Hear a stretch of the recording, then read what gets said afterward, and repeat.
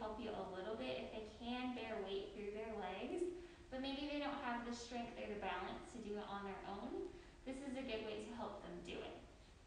And so for my patient here, she has some use of this arm, but this arm she can't really use very much, so I'm gonna have to help her get it around me.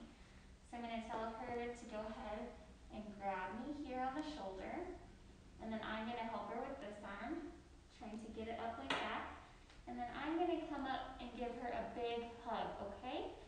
On the count of three, we're gonna lean forward this way, and then we're gonna stand up. So as soon as your nose gets over your toes, I want you to push through your legs as much as you can, okay? Okay. All right, one, two, three. And then you're gonna wanna bring your hands down to help support them closer to their hips.